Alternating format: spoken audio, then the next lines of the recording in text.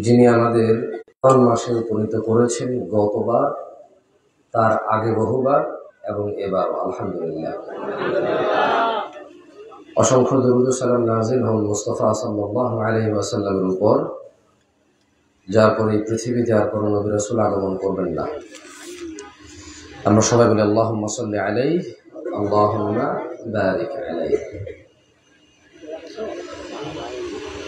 আহ দিন এবং রাতের সূর্য এবং চন্দ্রের। খিদা, দরিদ্রতা, সুস্থতা, অসুস্থতা, ঠান্ডা অথবা গরম, বাতাস অথবা বাতাস ছাড়া কোনো কিছুই পরিবর্তন হয় না রমাদান মাসে। রমাদান মাসের একদিন আগে যেমন, রমাদান মাস বাহ্যিকভাবে এমন যেদিন রমাদান শেষ হয়ে যাবে, তার পরের দিনও এমনই হবে। রমাদান মাসে শুধু দুইটা জিনিস বাড়ে। একটা হচ্ছে, মানুষের যে কোনো ভালো, সৎ কর্ম বহুগুণ বৃদ্ধিতে আল্লাহ সুবহান তাআলা প্রতিদান দান করে মানুষের নিরাপত্তা বেড়ে যায় জান্নাতের। বাকি সব কিছুই সেম তবে এই মাসে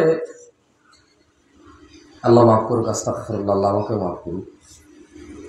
আমরা যারা এখনও সিনেমা, নাটক, গান, বাজনা জানা ব্যবিচার, ইফতারের পরেই, ইফতারের পরে সিগারেট খাওয়া নিয়ে আমি সমালোচনা করব না।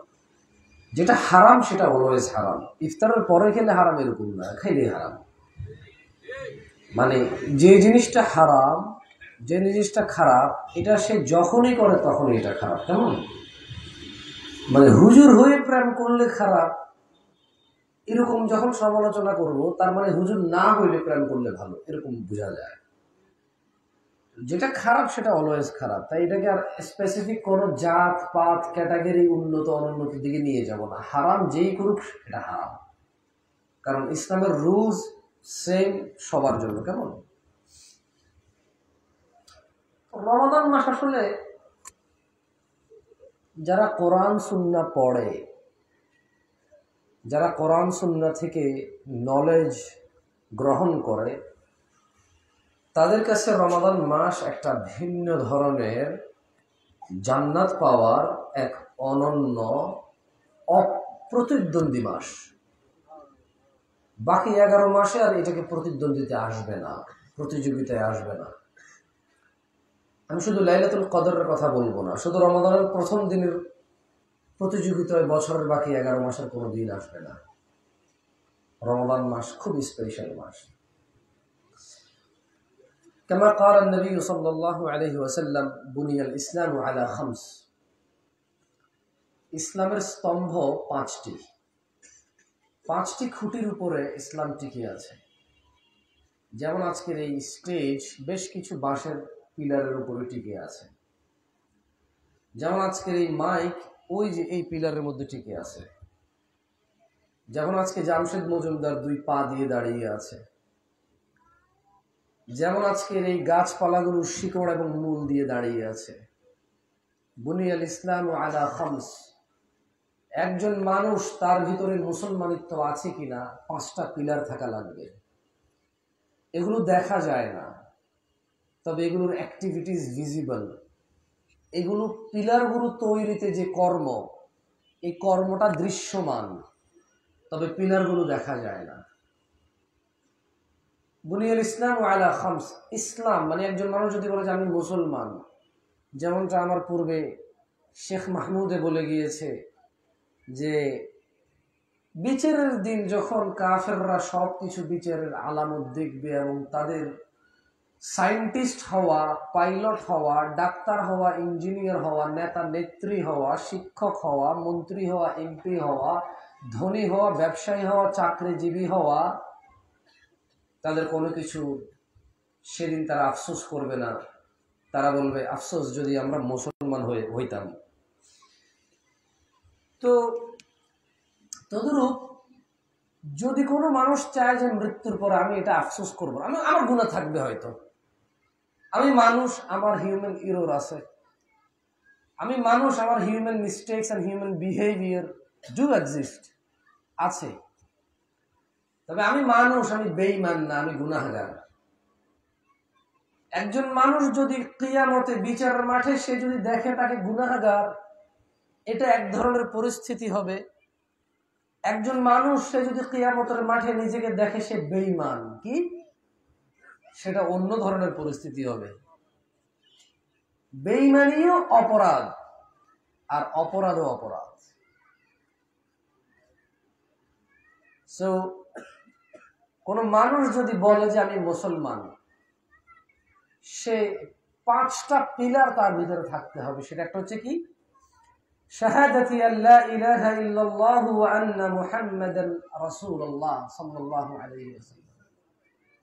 মানুষ মনে প্রাণে দৃঢ় আস্থা, কাজে কর্মে প্রমাণ করবে যে সে আল্লাহ ছাড়া কাউকে সত্য মাবুদ হিসেবে জানে না, গ্রহণ করে না।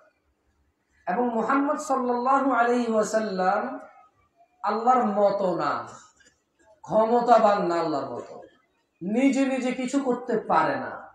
তিনি মোহাম্মদান রসুল্লাহ এবং সেটা, এটা তার কাজে কর্মে বিলিভ করবে, প্রতিষ্ঠিত করবে যে মোহাম্মদ সাল্লাহ সাল্লাম পৃথিবীর উন্নত মানুষ, তবে আল্লাহর প্রেরিত রাসুল। আল্লাহর প্রেরিত কি? রাসুল। নিজের মন গড়া কথা বলতে পারেন না, বলতেনও না, চাইলেও পারতেন না। আল্লাহ বলেছে, কণ্ঠনালী ধরে ফেলবে। আল্লাহ কি বলেছে? কি বলেছে আল্লাহ? যে কোনো মানুষ কাজ করবে এটা সে প্রমাণ করবে যে পাঁচটা পিলারের মধ্যে, একটা পিলার হচ্ছে যে সেটা প্রমাণ করবে যে আল্লাহ ছাড়া সত্য কোনো মাহবুদ না এবং মোহাম্মদ সাল্লাহ সাল্লাম তার বান্দা ও রাসুল। সলাৎ প্রতিষ্ঠিত করবে। এই পিলার দেখা যায় না। ফজরে পড়লে জোহর পর্যন্ত এই পিলারের স্থায়িত্ব। যেমন আপনি মোবাইলরে চার্জ করছেন, একটা নির্দিষ্ট পরিমাণ ইউজ করলে ব্যাটারি ডাউন হয়ে যাবে। এরপরে কি এই মোবাইলটা অন করা যাবে? বাউরে, বলবে যে কিসের ব্র্যান্ড করে দিচ্ছি রে? দুনিয়াই উল্টা উল্টা এটা এবার দেখা যায়। মানে এই মোবাইলটা এখন স্ক্রিনটা দেখা যাচ্ছে রাইট আমি এখন দেখে দেখে কথা বলতেছি, লেখা লেখা দেখা আছে। এইটা কি আমি সারা জীবন চালাতে পারব? হ্যাঁ যদি আমি চার্জ দিয়ে রেখে দেই ইউজ না করি, তাহলে মোটামুটি মাসখানিক, দুই মাস, পাঁচ মাস ব্যাটারি ডাউন হওয়া পর্যন্ত অন থাকবে। কিন্তু সলাদ আরও ডিফারেন্ট যেই লোক ফজরের সলাদ আদায় করল, তার ইসলামের পাঁচটি স্তম্ভের একটি স্তম্ভ জোহর পর্যন্ত স্থায়িত্বতা পায়। যদি সে জোহর না পড়ে, তার ইসলামের ওই পিলার থাকে না। যদি সে জোহর পড়ে, আসর পর্যন্ত, আসর পড়লে মাগরিব পর্যন্ত, মাগরিব পড়লে ঈশা পর্যন্ত, ঈশা পড়লে ফজর পর্যন্ত। ইসলামের পাঁচটি স্তম্ভের একটি স্তম্ভ দিনে পাঁচবার রিপেয়ার করতে হয়। কি করতে হয়? ইসলামকে রিপেয়ার না, ব্যক্তি তার ইমানকে রিপেয়ার করতে হয়। কাকে রিপেয়ার করতে হয়? ইমানকে রিপেয়ার করতে হয়। ইমানকে চার্জ করতে হয় আদারওয়াইজ এটা টিকে না। ওর ইমান পাঁচটি স্তম্ভর একটি স্তম্ভ চলে যায়, একটি স্তম্ভবিহীন হয়ে যায়। তার মানে ওর ইমান টিকে না, ওর ইমান নড়বড়ে থাকে, ওর ইমান ধসে পড়ে যায়। কারণ পিলার ছাড়া কোনো ছাদ কি? থাকে না। কালকে হয়তো কোনো প্রযুক্তি আসতে পারে, নিচে চুম্বকারটা রেখে দেবে কোনো একটা ওই যে আকর্ষণ, বিকর্ষণ কি থাকে? সায়েন্স আর্টস থাকে ওদের নলেজ আছে মাসা আল্লাহ যে এটা এভাবে রেখে দিছে নির্দিষ্ট একটা পরিমাণে শূন্যের মধ্যে আর একটা এটার অপোজিট কিছু একটা রেখে দিলে এইটা এভাবে শূন্যে ভাসবে হয়তো। কিন্তু ইসলাম সলাদ ছাড়া ভাসবে না, টিকবে না। কালকে হয়তো কোনো প্রযুক্তি আসতে পারে পিলার ছাড়া ছাদের কিছু একটা করতেছে তারা। কিন্তু কিয়ামত পর্যন্ত এমন কোনো পলিসি এমন কোনো আমল তৈরি হবে না। মানুষ বান্দা তার সারা জীবনের সমস্ত সঞ্চয় বান্দা তার আল্লাহর দেওয়া রাজত্ব, আল্লাহর দেওয়া পৃথিবীর রাজত্ব দিয়েও একমাত্র সলাতের কোনো বিকল্প করতে পারবে না। ও ইথাই জাখা জাকাত দিবে, এটা হচ্ছে ইসলামের আরেকটি স্তম্ভ। এক বছরে একবার দিবে, এক বছর পর্যন্ত মেয়াদ থাকবে। এক বছর পর যদি আবার জাকাত না দেয়, এর এই স্তম্ভ থাকে না। বুনিয়াল ইসলাম ও আর খামস, ইসলামের স্তম্ভ হচ্ছে পাঁচটি। একটি সে মনে প্রাণে বিলিভ করবে, সাক্ষী দিবে, তার কাজ কর্মে কুফুরি এবং বেইমানি এবং শিরকি থাকবে না, তাহলে তার মৃত্যু পর্যন্ত এটা হয়ে যায়। আর একটি দিনে পাঁচবার প্রমাণ করতে হয় যে সে মুসলমান। একজন মুসলমান দিনে পাঁচবার প্রমাণ করতে হয় সে মুসলমান। একজন মুসলমান দিনে পাঁচবার প্রমাণ করতে হয় সে মুসলমান। যে ব্যক্তি দিনে পাঁচবার প্রমাণ করতে ইচ্ছুক নয় যে ব্যক্তি দিনে পাঁচবার মুসলমান হওয়ার প্রুফ এবং এর কি বলে এটাকে, প্রমাণ বহন করে না, প্রমাণ দেয় না নিজেকে নিজের, সে কখনো মুসলমান হইতে পারবে না। মুসলমান দিনে পাঁচবার প্রমাণ করতে হয় মুসলমান অজু করে এবং সলাত আদায় করে। অজুর ব্যাপারটা বললাম না কেন, অজু একবার করে পাঁচবার নামাজ পড়া যায় যদি অজু না ভাঙে। অজু এভাবে প্রত্যেক ওয়াক্তে করা ফরজ না। অজু থাকলেই নামাজ পড়তে পারে মানুষ। পবিত্রতা অবস্থায় অজু থাকলে মানুষ নামাজ পড়বে। তখন আর শর্ত থাকে না, কিন্তু সলাপ জোহরেরটা জোহরে শর্ত। আসরেরটা আসরে শর্ত, মাগরিবেরটা মাগরিবের শর্ত, ঈশারটা ঈশা ফজরের ফজরেরটা শর্ত। তাহলে জাকাত যে ইসলামের স্তম্ভ কয়টি?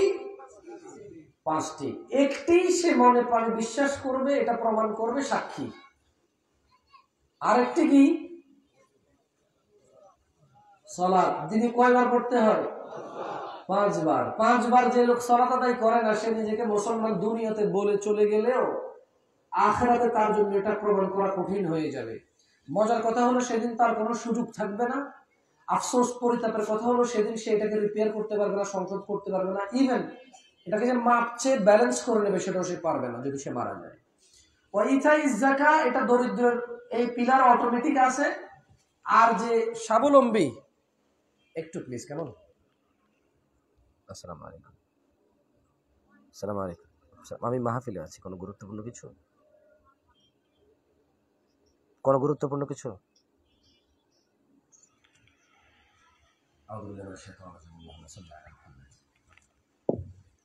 তাহলে দরিদ্র যে তার দুইটা পিলার সেফ কয়টা পিলার সেফ একজন দরিদ্র মুসলমান ধনীদের পাঁচশো বছর পূর্বে জান্নাতে প্রবেশ করবে। আমি এটা এটা আল্লাহ নবী সাল্লাহ সাল্লাম বলছে এটার অনেক ব্যাখ্যা থাকতে পারে, আমি জানি না। তবে এটা আমার মানে ছোট্ট মনে এরকম, আমি চিন্তা করলাম আসলে দরিদ্র হওয়ার বেনিফিট অনেক। দরিদ্র হওয়ার কি? বেনিফিট অনেক। কেন? একজন স্বাবলম্বী মুসলমান পাঁচটা পিলার ক্যারি করতে হয়। কি ভাই আপনাকে কি তো হয়েছি?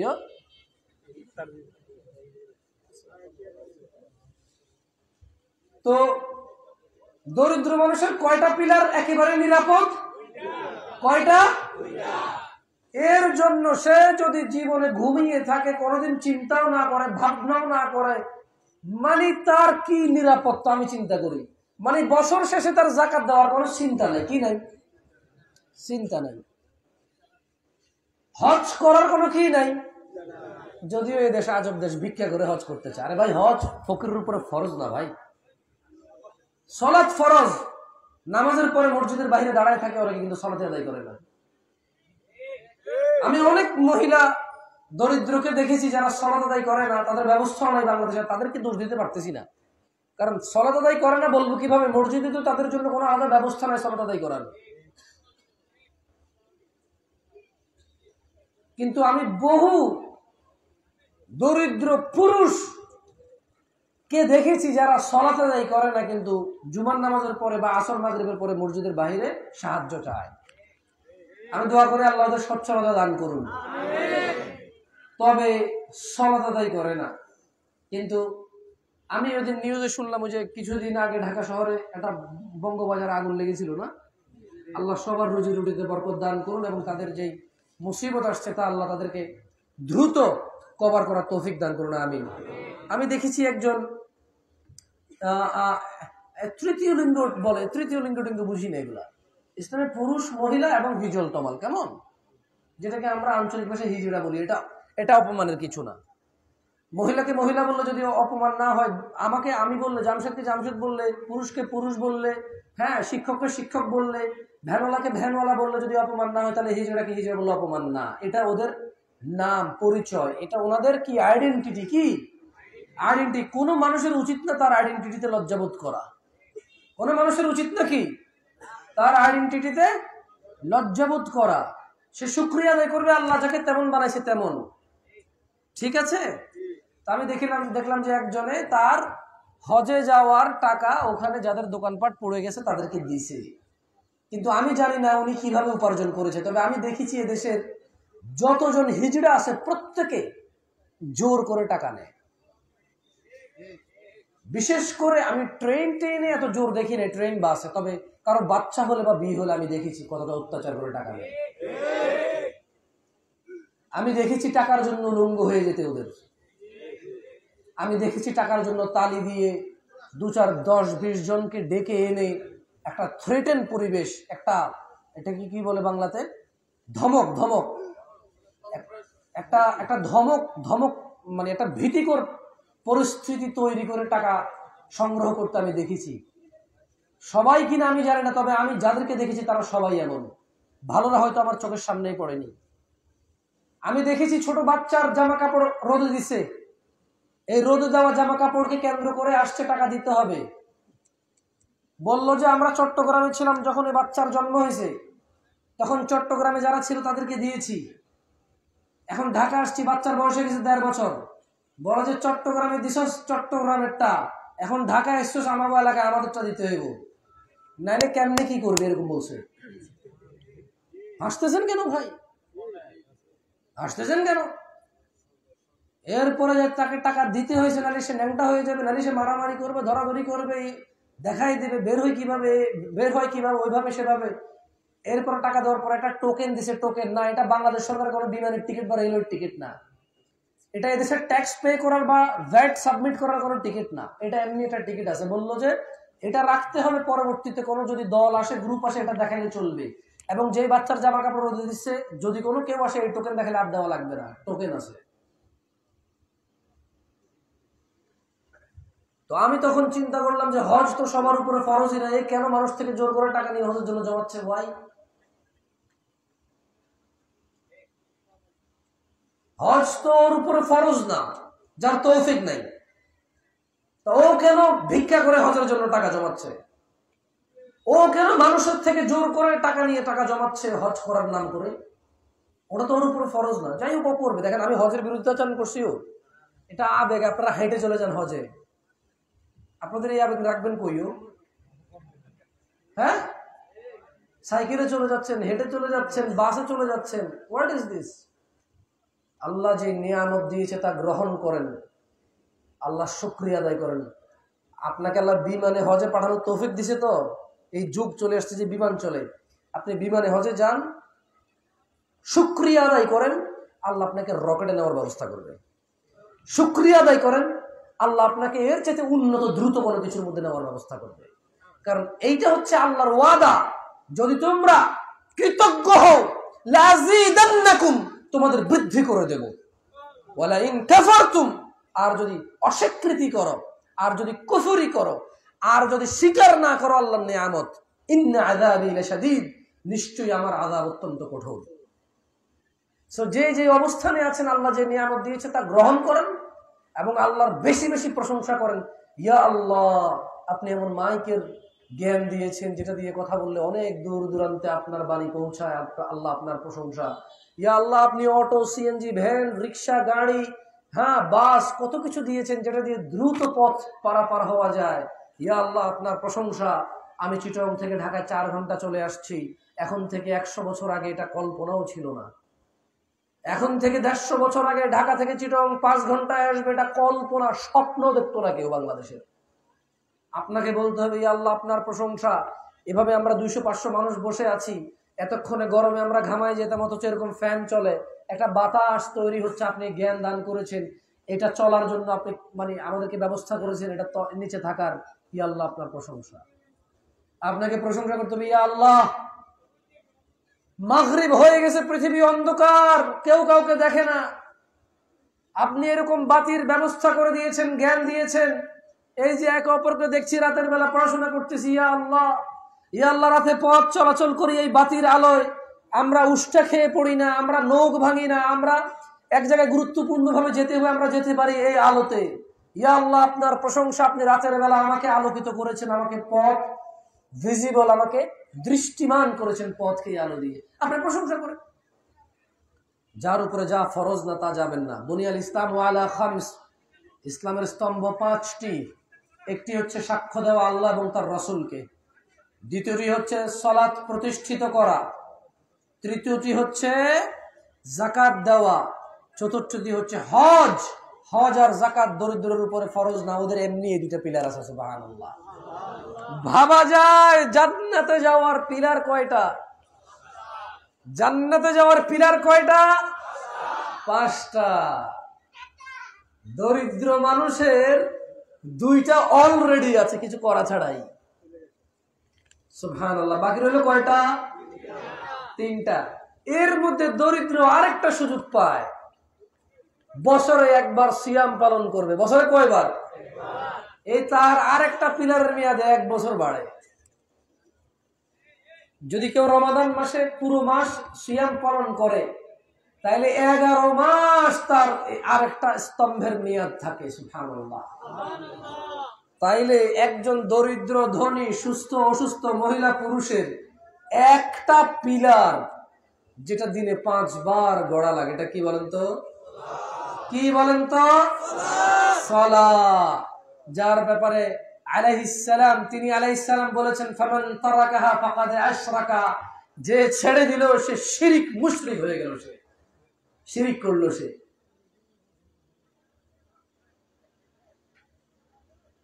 আল্লাহ আমাদেরকে বুঝার তৌফিক দান করুন আপনাদেরকে ইফতার কয়টা বাজে ভাই?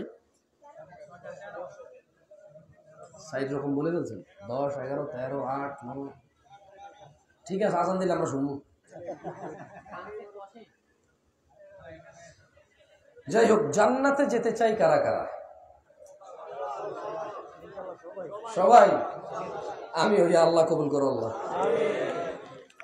আচ্ছা জান্নাতে যাওয়ার অন্যতম একটা মাধ্যম হচ্ছে সিয়াম, জানেন?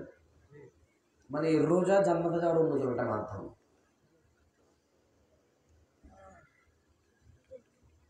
মানে আপনারা আবার দুনিয়ার সমস্ত কাজ কর্ম ছেড়ে দিয়েন না, এখন একটা হাদিস পড়ব, কেমন? এটা শোনার পরে আবার উনি ওই যার পক্ষ থেকে হাদিস উনি যেমন বলছে, আপনারা আবার এরকম করে ফেলিয়েন না। কেননা আপনারা পারবেন না, আমরা পারব না। এটা হচ্ছে কি? জাবের রাদিয়াল্লাহু আনহু থেকে বর্ণিত তিনি বলেন যে, আন্না রজুলান সাআলা রাসূলুল্লাহ সাল্লাল্লাহু আলাইহি ওয়াসাল্লাম। এক ব্যক্তি আল্লাহর নবী আলাইহি সাল্লামকে গিয়ে বলল যে, ইয়া রাসূলুল্লাহ, আরাআইতু ইযা সাল্লাইতু সালাওয়াতুল মাকতুবাত ওয়া সুমতু রমাদান। জান্নাতে যেতে চান, বিরিয়ানি নিয়ে ব্যস্ত হয়ে যান।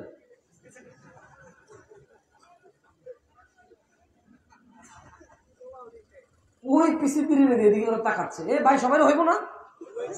খালাস, তাকাচ্ছেন কেন?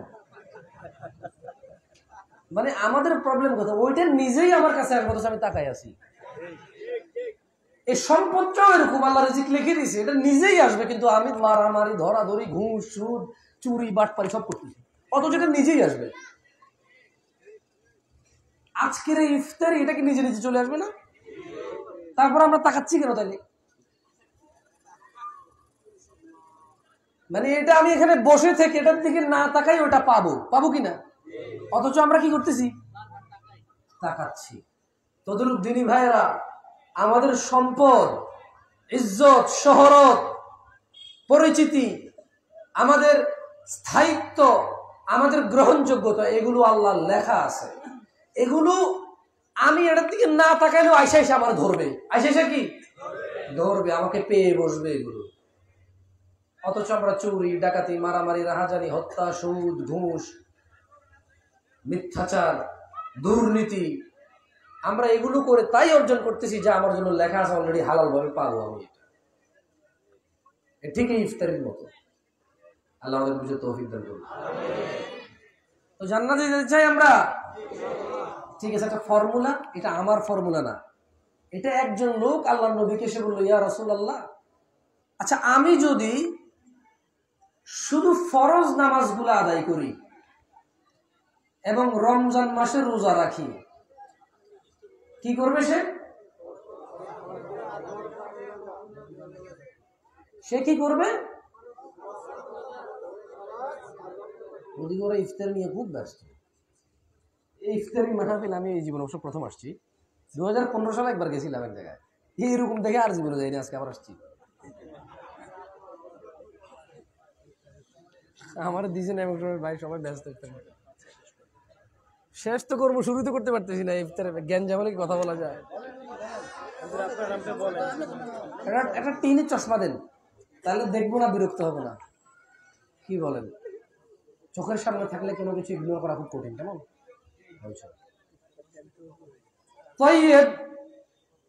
একজন ব্যক্তি এসে আল্লাহ নবী সাল্লাহ সাল্লামকে কি বলল?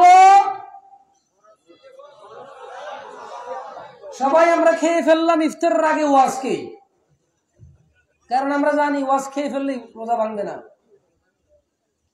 এক ব্যক্তি এসে জিজ্ঞেস করল, ইয়া রাসূলুল্লাহ, আরাইতা ইযা সাল্লাইতু সালাওয়াতুল মাকতুবাত?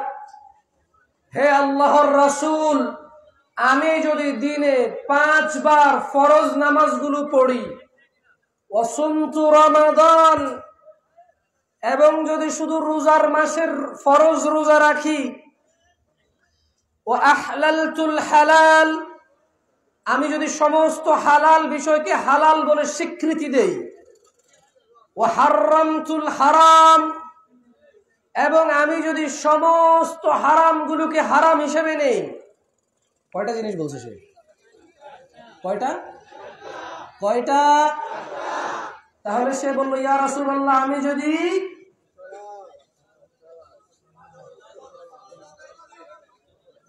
রে ভাই সবাই ভিডিও না করে মনোযোগ দিয়ে শোনো আরেকজনের শুনে নিজে না শুনে লাভ করো ভিডিও, মনোযোগ দিয়ে শোনো।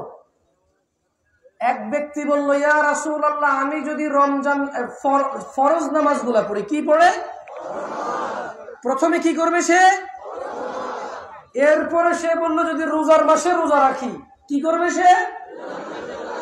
বছরে কয় মাস? বছরে কয়বার নামাজ দিনে কয়বার কয়বার কোনগুলা? কোনগুলা? কয় রাখাত কেউ রোজাদাররা কষ্ট দিচ্ছি কেউ কেবল বদ্ধ দিবেন নাকি? চাইয়েন আবার আপনারা তো ঘনায় আসছেন তো এই জন্য। বেশি করে বলেন, খিদে বেশি লাগবে, খাবেন বেশি। আল্লাহ শুক্রিয়া আদায় করবেন খেয়ে। আলহামদুলিল্লাহ। তাইলে ওই লোকে কি বলল?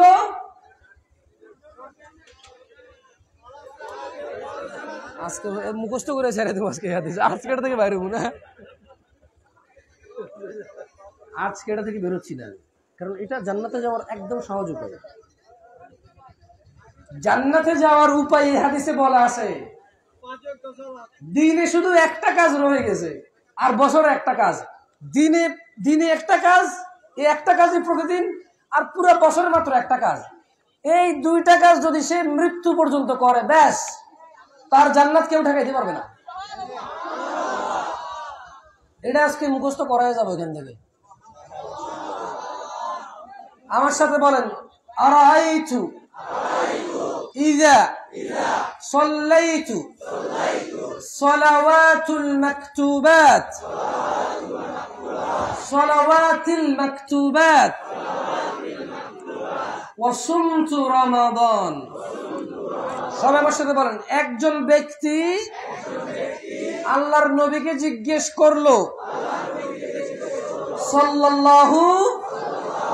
আলাইহি ওয়াসাল্লাম। তিনি বললেন, আমি যদি ফরজ নামাজগুলো এবং রমজান মাসের রোজা হালালকে হালাল, হারামকে হারাম বলে মেনে চলি। ওয়ালাম আজিদ আলা, ওয়ালাম আজিদ আলা যালিকা। ولم أزد على ذلك شيئا এবং এর চেয়ে হালালকে হালাল হারামকে হারাম হিসেবে মেনে চলি এবং এর চেয়ে বেশি কোন আমল কোনো কিছু বৃদ্ধি না করি আমি কি জান্নাতে যাব হে আল্লাহর রাসুল সাল্লাহু আলাইহি ওয়াসাল্লাম। তিনি আলাইহিসালাম বললেন, নাম। হ্যাঁ তুমি যদি শুধু পাঁচ ওয়াক্ত নামাজ, বছরে ফরজ রোজা, হালালকে হালাল, হারামকে হারাম বলো এই হিসেবে মেনে চলো। আর যদি কোনো কিছু বৃদ্ধি না করো, কোনো আমল যদি না করো, সারা জীবনে যদি কোনো আমল না করো, জান্নাতে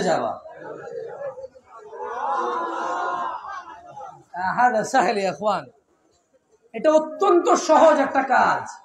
তবে আমি জানি, যেটা যত সহজ মুসলমানরা সেটাকে তত কঠিন এবং তত ত্যাগ করে। যেটা যত সহজ মুসলমানরা তত লাপাত্তা করে দেয়, সেটাকে তত উদাসীনতায় ফেলে দেয়। কারণ এটা সহজ। কারণ এটা কি? সহজ। আচ্ছা এইবার আল্লাহ নবীকে যে লোক বলল যে আল্লাহ নবী, আমি এই শুধু রোজা, নামাজ পড়ব, রোজা রাখব হালালকে হালাল বলব, হারামকে হারাম, আমি কোনো গুনাহের কাজ করব না। কি করবে না? কি করবে না? তবে সে কোনো অন্য আমল করবে না। মানে ইবাদত তার বাড়াবে না। এবার লোকটা কি বলে বসল জানেন? আল্লাহ নবী কি বলছে বলেন তো, সে কি কোথায় যাবে? কোথায় যাবে? এই কথা শুনেই লোকটা বলে বসল, ওয়াল্লাহি, আল্লাহর কসম। ওই লোক বলল মানে যে লোক আল্লাহ নবীকে জিজ্ঞেস করছে, উনি বলল যে আল্লাহর কসম আমি আমার পুরো জীবনে পাঁচ নামাজ আর রমজানের রোজা ছাড়া সমস্ত গুণা আমি বাদ দিয়ে দেবো। কোনো গুণের কাজ আমি করব এই ভাই, কটা গরু নিয়ে তো, গরু বাজার বসেন এখানে ভাই আপনার। হ্যাঁ? ইফতার খাওয়ানোর দাওয়াত দিয়ে এসে কথা বলার সুযোগ করে দেওয়ার কারণটা কি? জ্ঞানজাম করতেছেন কেন? চুপ থেকে করা যায় না এগুলো? আপনি আনন্দ পার্টি করবেন, করেন না। আমাদেরকে ডেকে নিয়ে আসছেন কেন?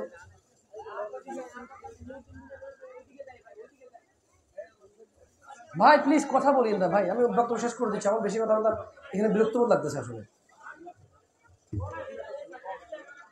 তখন ওই লোক বলল যে, আল্লাহর কসম, আমি আমার জীবনে হের জীবনে কথা বলে নাই।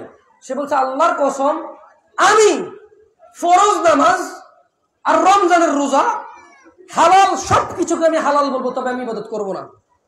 হারাম সব কিছুকে আমি হারাম বলব, আমি হারাম কাজে লিপ্ত হব না। আমি এর কোনো কিছুই বৃদ্ধি করব না। আল্লাহ নবী তাকে কিছুই বলে না সে জান্নাতে যাবে বলছে।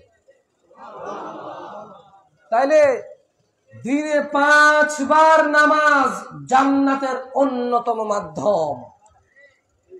যেটা ফকির, মিসকিন, সুস্থ, অসুস্থ, নারী, পুরুষ, হিজড়া, সবার উপরে ফরজ। যে হিজড়া পুরুষদের মতো মিল আছে, সে পুরুষদের মতো আমল করবে। যেই হিজড়া নারীদের মতো মিল আছে, সে হিজড়া নারীর মতো আমল করবে। হিজড়া শুধু মা হতে পারে না, শুধু কি হতে পারে না?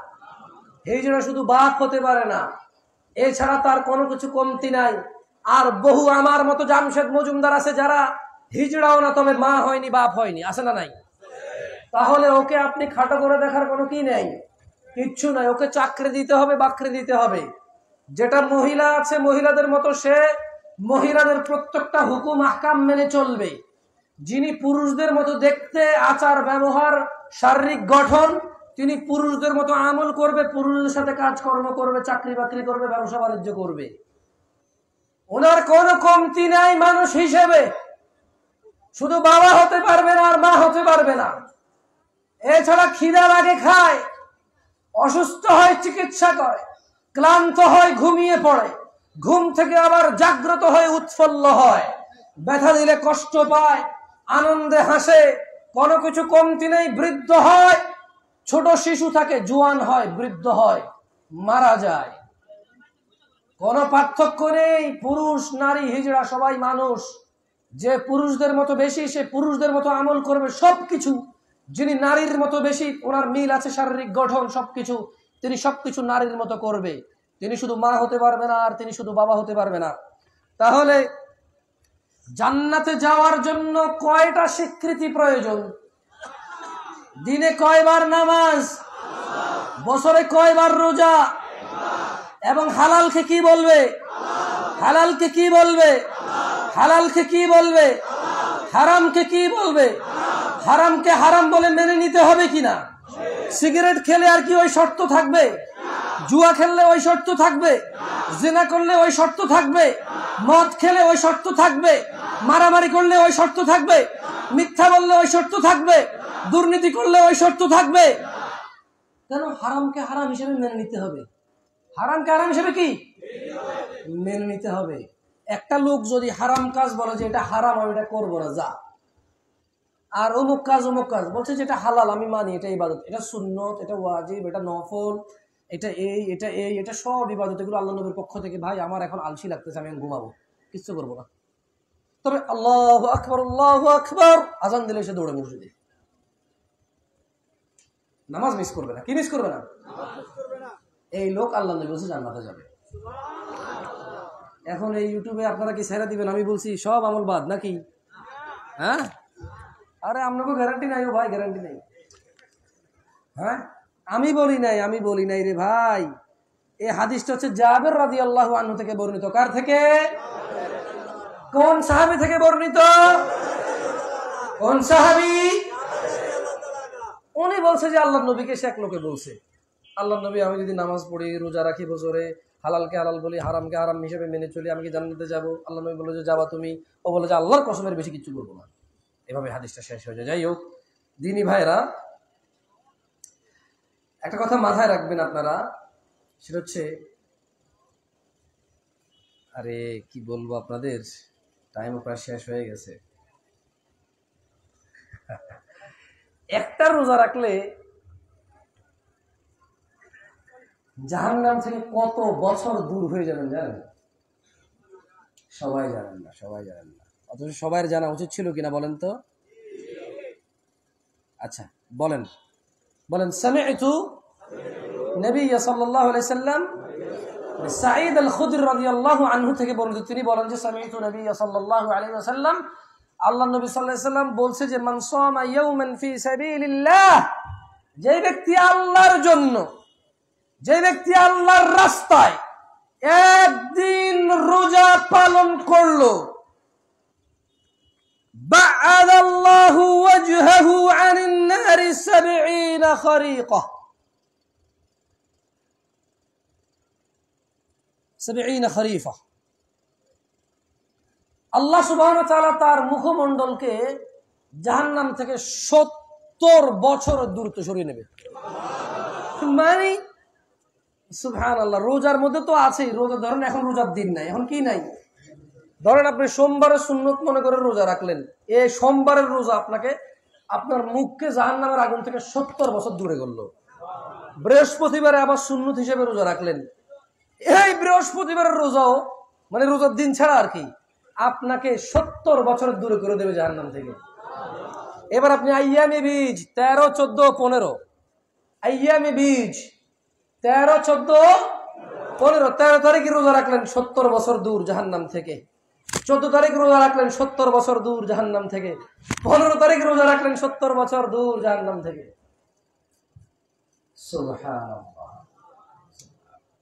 মানে মানে একটা লোক জাহান্নামকে ভয় পেয়ে, আল্লাহর আদাবকে ভয় পেয়ে, এটা থেকে বাঁচার রোজা ছাড়া আছে কি বড় উপায় বলতে পারেন? মানে সেই নিয়তে রোজা রাখল যে, আমি রোজা রাখলাম, নেকি তো হবে, এটা আল্লাহ নিজেই দিবে, যা হবে হবে। তবে এটা জাহান্নাম থেকে সত্তর বছর পিছাইছে আমাদের। কয় বছর? আল্লাহ তালা আমাদেরকে বোঝার তৌফিক দান করুন দিনী ভাইরা শুনেন, আপনাদের একটা কথা বলি।